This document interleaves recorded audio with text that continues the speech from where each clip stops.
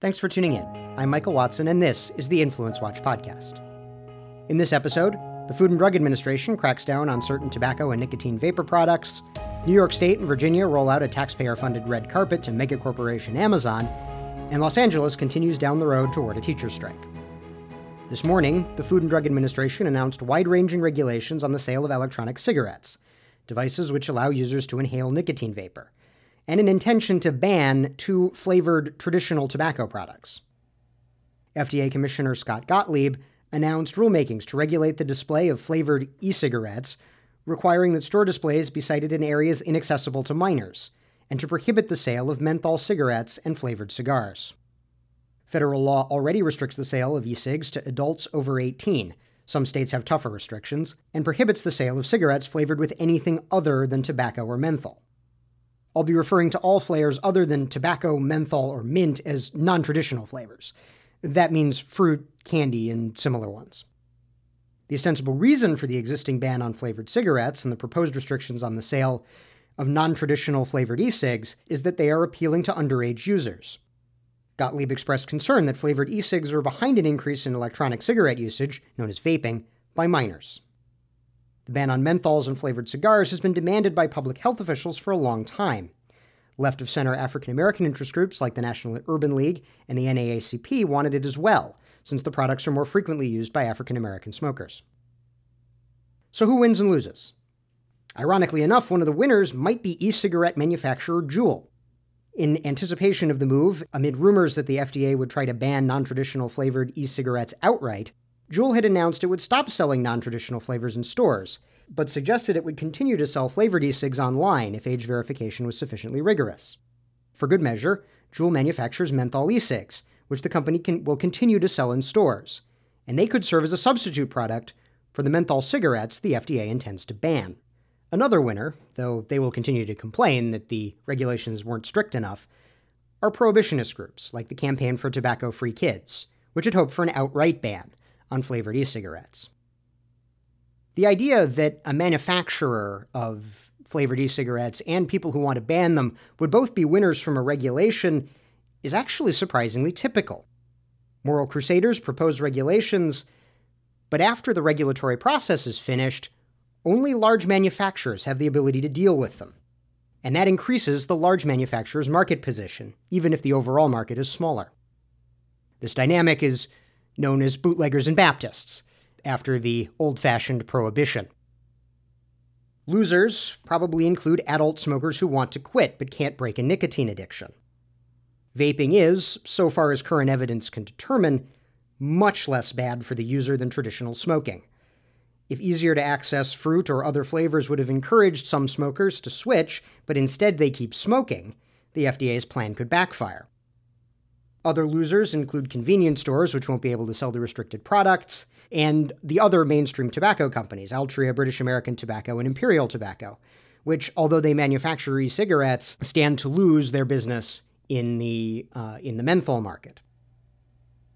What we don't know is what effect these regulations will have on underage e cigarette use.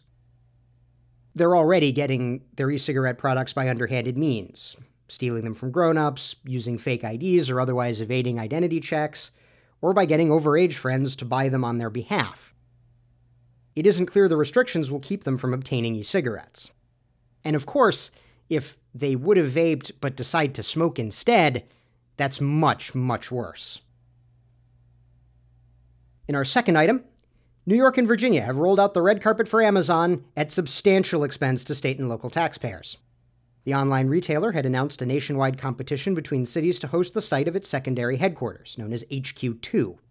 The company's primary headquarters is, of course, in Seattle. The company chose to split HQ2 and will have locations in Queens, New York, and the Washington, D.C. suburb of Arlington. This expansion is far from a victory for unfettered capitalism. Both locations were chosen in part because the states of New York and Virginia offered buckets of corporate welfare. Depending on the number of jobs the projects create, the total could range from $2.8 billion to $5.5 billion. For good measure, both locations agreed to help Amazon site helipads at the new company campuses. New York's corporate welfare package includes substantial special tax breaks based on the level of six figure job creation. At a total of $48,000 in tax credits per job created, they could total 10 figures. Virginia offered a less substantial 22,000 in cash grants and threw in another $195 million in infrastructure improvements targeted at the Amazon campus. Arlington County will kick in another 23 million, raised from a hotel tax increase. Even the cities that lost kicked into Amazon's kitty. As part of its HQ2 search, the company obtained a large quantity of government data from the cities, data the company has reportedly retained. New York Governor Andrew Cuomo defended giving Amazon this sack of thinly veiled legal bribes by noting New York's broadly uncompetitive, read very high, state taxes and regulations, saying, quote, It's not a level playing field to begin with. All things being equal, if we do nothing, they're going to Texas. Ideologues right and left have responded to the gifts to Amazon with outrage. Representative elect Alexandria Ocasio Cortez, a member of the Democratic Socialists of America, complained that Amazon would be getting tax breaks when she would prefer to use the money for various government programs. Among the strange bedfellows who agree with the left wing firebrand on the broad picture, if not all the details, a research fellow from the Conservative Heritage Foundation, the executive editor of National Review, and a senior fellow at the Libertarian Mercatus Center. And there's no light, light item this week as we move on to Los Angeles. The teachers' union, United Teachers Los Angeles, continues to prepare for a strike announcing a day of action and marches for December 15th. Earlier this month, the union rejected a proposal from the school district, which would have given teachers a raise, but did not agree to the union's demand for smaller class sizes district wide. The district has agreed to smaller classes in high need schools. The district's finances are already dire. Its deficit is so high that one estimate found that the district's financial reserves will drop by 90% over the next two years. UTLA, United Teachers Los Angeles, has already called a strike authorization vote, giving the union the ability to call a strike at any time, 30 days after a mediation panel submits its results.